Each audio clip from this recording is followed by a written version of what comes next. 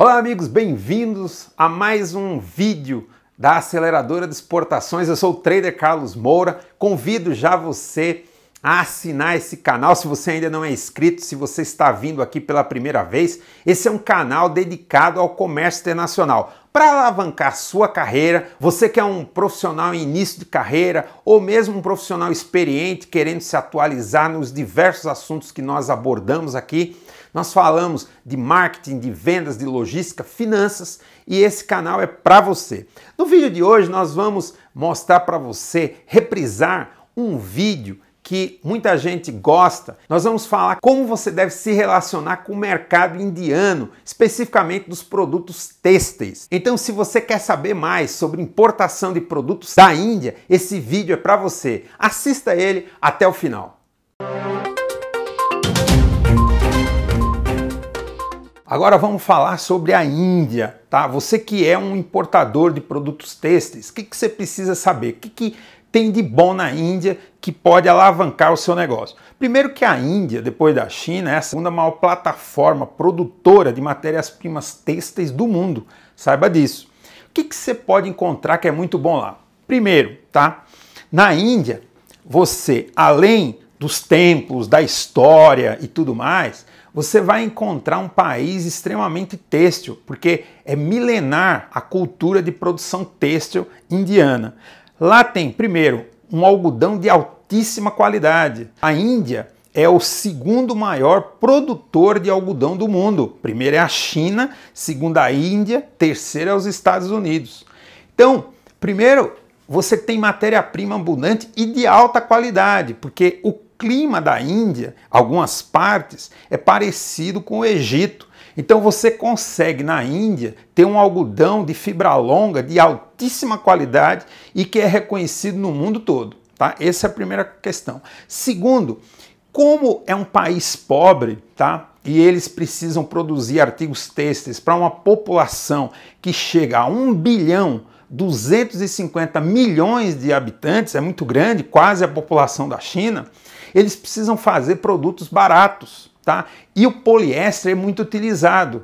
E eles, nesses últimos anos, têm melhorado muito a tecnologia. Então você consegue encontrar produtos de camisaria, por exemplo, tecidos poliéster algodão com a qualidade espetacular, muito boa mesmo. Você, se não conhecer bem, você acha que aquilo é um tecido 100% algodão que é um tabu achar que um produto poliéster algodão não pode ter a mesma qualidade similar a um produto de algodão. Além do mais, é um tecido extremamente estável. Você não tem muito amassamento, aquele efeito wrinkle, né? Em inglês wrinkle, que é o amassar, no poliéster algodão você não tem. Então, os tecidos de poliéster algodão da Índia são muito bons. Terceiro aspecto que você encontra na Índia, produtos de alfaiataria eles têm uma população que se veste ainda de forma muito tradicional. Então eles têm uma produção de tecidos para alfaiataria muito bom, os poliviscose, de muito boa qualidade, excelentes preços, com desenhos muito bonitos. Então você consegue fazer uma moda clássica para alfaiataria com ótimo custo-benefício, além da lã indiana que é muito conhecida também. Por último, eles são é, um país de muito artesanato, de muita habilidade manual. O indiano ele, ele faz isso muito bem, além dele ter muito corante, eles sabem trabalhar com isso daí. Então, você pode encontrar determinadas províncias indianas que são especializadas em fazer bordado, principalmente para o mercado feminino. E por último, você encontra matéria-prima como fios, corantes, de muita abundância, de muita qualidade com excelente preço, tá bom? Então, basicamente, esse é o que você pode encontrar de abundante lá na Índia. Agora vamos nessa segunda parte do vídeo falar do quais são os problemas, aquilo que você precisa tomar cuidado com o mercado indiano para você fazer negócio seguro. Primeiro, os prazos da Índia não são é, tão rígidos. Então você precisa fazer um planejamento com muito cuidado, porque relativamente a atrasos. Então, não, o prazo lá não é tão religioso, tão pontual como é na China. A China é muito mais pontual do que o indiano, então você precisa tomar cuidado e negociar muito bem os prazos. Segundo, a questão da qualidade. Apesar da matéria-prima indiana ser muito boa, você precisa tomar cuidado em fazer um controle de qualidade da sua matéria-prima. Você pode, por exemplo, contratar é, empresas para verificar isso. No final do vídeo, inclusive, eu vou dar quatro dicas para você trabalhar bem com a Índia, tá? Mas você precisa tomar cuidado com a qualidade. Outro aspecto é a logística. Como ele não tem um fluxo, tá, de exportações para a, América, né, para o Brasil, como a China tem, então lá é um pouco mais complicado. Os prazos tendem a ser mais dilatados e a disponibilidade de navios para o Brasil é menor, tá?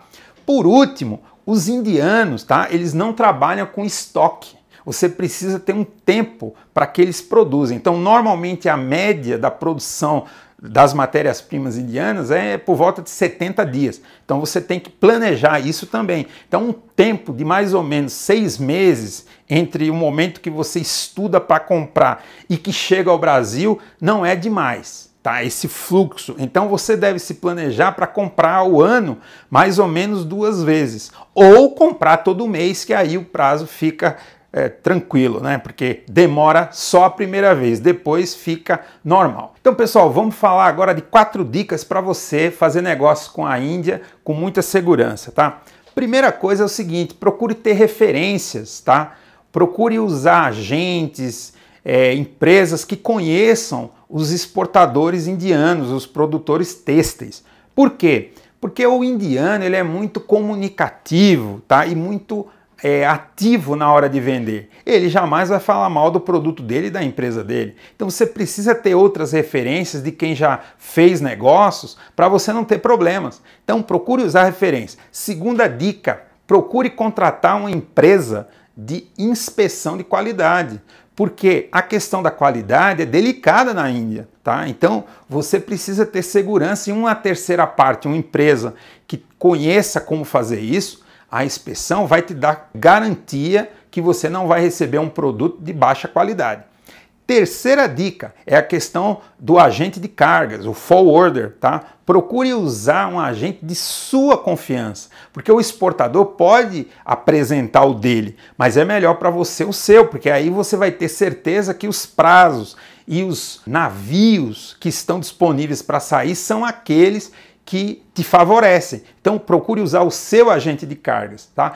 E a quarta dica, procure viajar. A Índia é um país multicultural, tem muita coisa interessante até para você fazer turismo, mas sem dúvida, você ir até o seu exportador e conhecer a estrutura e como ele trabalha é o melhor para você. Então na segunda, na terceira compra, procure fazer esse esforço e vá até lá, porque é importante essa confiança, esse conhecimento que você terá fazendo isso, tá bom? Bom, pessoal, espero que você tenha gostado desse vídeo. Se você gostou, deixa o seu joinha, é importante para que o YouTube distribua esse vídeo com muita gente e possa aumentar a nossa projeção ao grande mercado brasileiro e internacional. Visite a nossa plataforma de cursos acelerexport.com. Lá você tem diversos cursos, negociação, importação passo a passo. Se você quer mandar uma mensagem para nós, mande no contato acelerexport.com e nós vamos responder no melhor tempo possível. E nos vemos nos próximos vídeos da aceleradora de exportação. Um abraço, sucesso a todos.